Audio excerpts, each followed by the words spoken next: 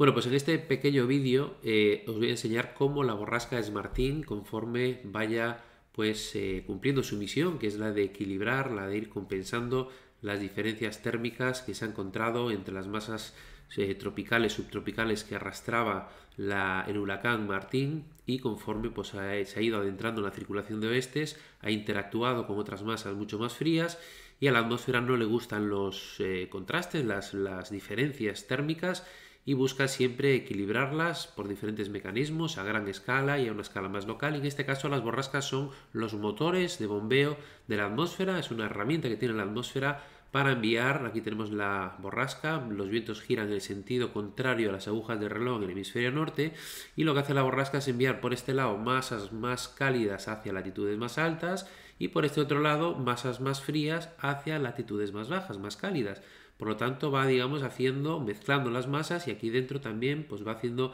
esa función, ese giro en forma de caracola, que lo que va haciendo es ir mezclando, ir equilibrando las masas y los próximos días, en las próximas horas, va a ir consiguiéndolo y poquito a poco va a ir perdiendo su fuerza. Veis cómo las isobaras se van separando. Quiero que os fijéis cómo va perdiendo intensidad porque las borrascas pues tienen un ciclo de vida, normalmente pues llegan a su fase de madurez, cuando ya consiguen equilibrar,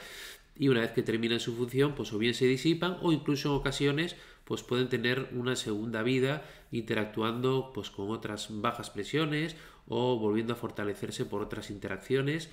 Eh, por lo tanto, pues bueno, vemos aquí en este caso concreto cómo la borrasca de Martín se dirige hacia las Islas Británicas. El domingo por la mañana estará llegando, tocando lo que es ya es las Islas Británicas, pero ya perdiendo gran parte de su energía y de su fuerza, pero